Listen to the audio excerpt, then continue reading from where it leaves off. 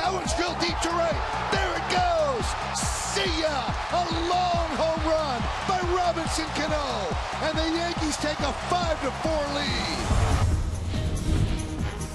I'm Tim McMaster, and this is the MLB.com Fastcast presented by Ace, the helpful place. Get in, get help, get on with your life.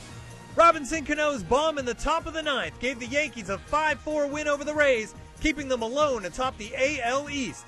The Bombers were also busy before the game on deadline day, bringing in Lance Berkman from Houston and Kerry Wood from Cleveland. David Ortiz comes through with a gap shot to left center, all the way to the wall. After striking out with the bases loaded in the seventh, David Ortiz came up big in the same spot in the ninth. Papi's bases clearing double gave the Red Sox a 5 4 walk off win over the Tigers. A walk-off in grand style. Carlos Gonzalez's walk-off jack in the ninth gave the Rockies a 6-5 win over the Cubs and Cargo the cycle.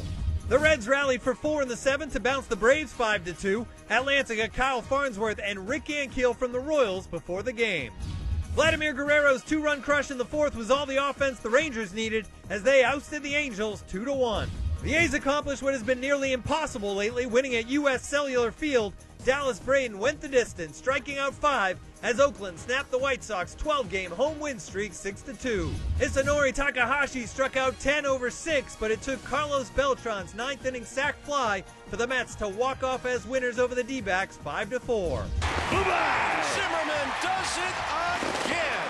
Ryan Zimmerman's three-run shot in the ninth gave the Nationals the 7-5 walk-off win over the Phillies. The Twins won their seventh straight, shutting out Seattle 4-0. Kevin Slowey threw eight scoreless, striking out five for his 10th win. Wandy Rodriguez struck out nine Brewers over eight innings as the Astros shut out the Brew Crew for the second straight night, 6 0. Ricky Nolasco went eight and a third, striking out seven Padres in the Marlins six to three win. The Friars did add a bat at the deadline, getting Ryan Ludwick from the Cardinals.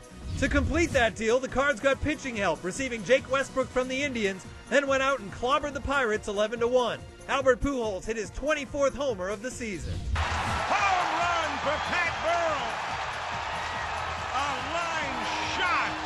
Pat Burrell's two-run jack in the bottom of the eighth gave the Giants a 2-1 win over the Dodgers. Before the loss, the Dodgers were dealing, picking up starter Ted Lilly and infielder Ryan Theriot from the Cubs and getting Octavio Dotel from Pittsburgh. Shin Soo Choo drove in the game winner with a double in the seventh as the Indians topped Toronto 2-1. And Billy Butler's eighth inning crush helped the Royals rally past the Orioles 4-3.